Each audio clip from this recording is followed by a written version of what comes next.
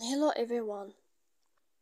Today we'll talk about how to fix a problem that you have on uh, Skype. To to fix that problem on you have on uh, Skype, you should just go settings. After that, we click on apps, default apps, app settings. Here in this page, you will enter to the window of uh, Skype and uh, you will click as you see here then this page of app for we click on first stop and you click ok. After that we'll enter to storage. Here we click clear cache. And in the end you can turn off your phone.